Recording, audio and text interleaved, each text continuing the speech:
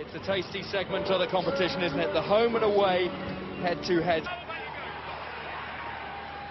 And Lindo had a horrible injury season last season, now getting back up to full throttle and a crucial part of this Leinster effort, trying to defend their Heineken Cup title and be the second side to do it.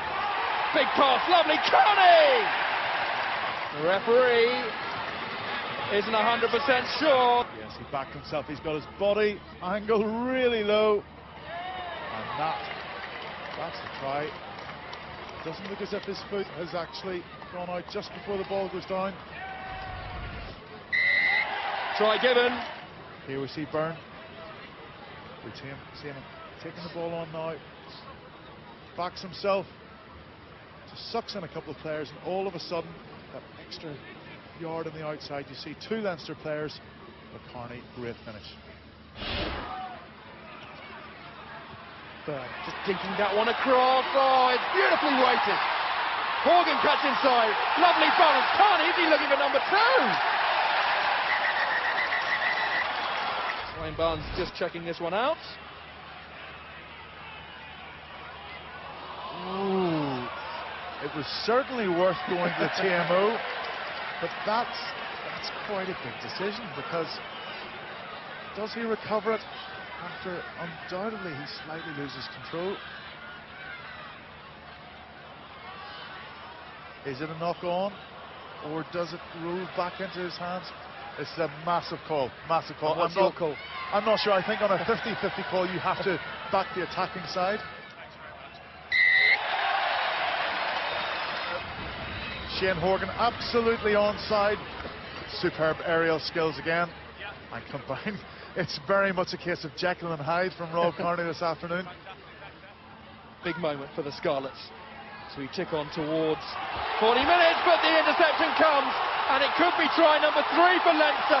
It's a long, long way for Horgan to go, but look at the gas from the man.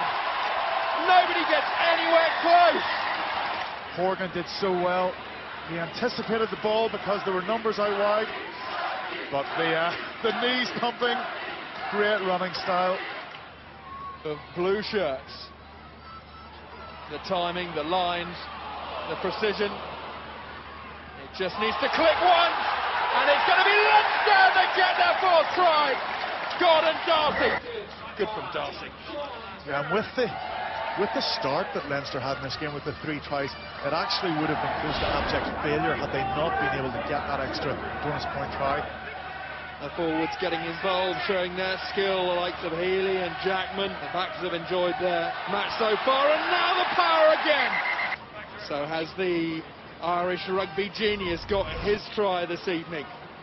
Well, from this sort of distance, Brian O'Driscoll is virtually impossible to stop. Yes!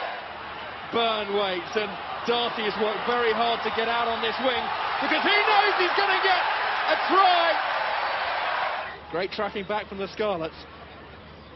But here we see great finishing. But look, look at Easterby and Heaslip, which is not good. And Leinster will be hoping for even more.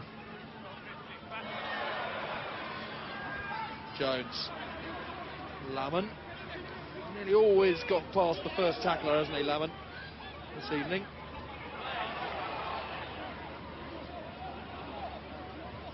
Priestland. Oh, Kearney! He's missed it. Here are the first points for the Scarlets. And it's Priestland with the chip that gets the collect and the five. I just think that Kearney, he's so much better when he's actually attacking the ball either on the ground or in the air. And on the occasions where he struggled, and these little chinks maybe have appeared in his armoury, it's been when he's been waiting for the ball. Lovely line for the run and hands too. Oh.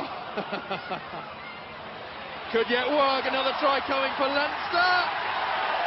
O'Driscoll. Party time. And that'll certainly be one of the easier tries that O'Driscoll scores in his career. But he'll take every single one.